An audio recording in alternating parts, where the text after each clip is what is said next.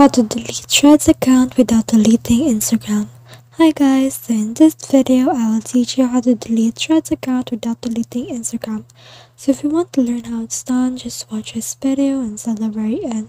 It's just pretty quick and simple, so let's go. To do that, what we need to do is to head over to our Threads app. And from in there you can see your profile page.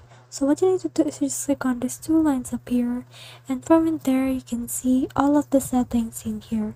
So if you want to delete your chat account without deleting Instagram, you can just click on your account right here.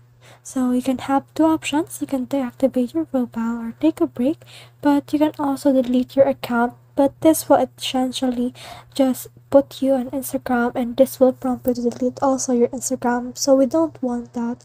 So if you want to just delete your Threads account without deleting Instagram, then just click on this deactivate profile right here. And then from in there, it will ask you if you're sure if you want to activate your Threads profile because this is just temporary and all your likes and subscribes will be hidden until you activate the login back in. So if you're decided, then just click on this activate Threads profile. Then click on the activate right here and it will process your request and this will log you out. And as you can see your account is still right here. It has been activated and it will be reactivated once you have logged in with instagram again. So that's the whole process. I hope this video helped you to delete threads account without deleting instagram. If you have questions or comments kindly put in the comment section below. And if not don't forget to subscribe and like thanks